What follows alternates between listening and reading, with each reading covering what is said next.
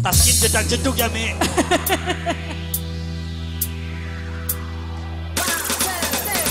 Kula ngomong wis bisa urip karo sampean watake doyan